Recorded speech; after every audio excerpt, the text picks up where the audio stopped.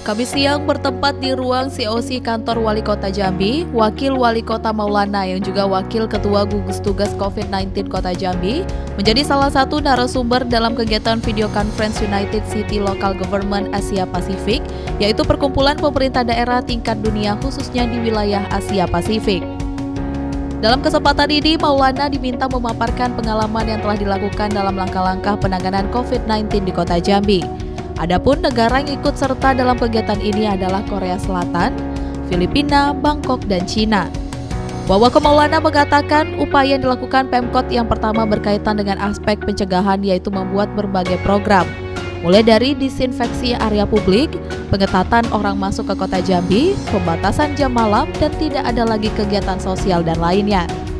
Kedua, berkaitan dengan penanganan, Pemkot telah menyiapkan rumah sakit untuk merawat pasien COVID-19. Ketiga, berkaitan sosial ekonomi dengan menerapkan belanja online dan memberdayakan para pelaku UMKM. Pemkot juga sudah membagikan program jaring pengaman sosial dan paket makan gratis untuk ribuan masyarakat kota Jambi. Hal ini diapresiasi oleh para peserta video conference dan dinilai langkah yang positif dalam menangani COVID-19.